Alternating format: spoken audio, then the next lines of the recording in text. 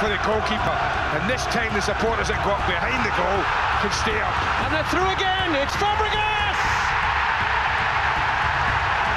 What an end to the half for Arsenal. Frustrated for so long.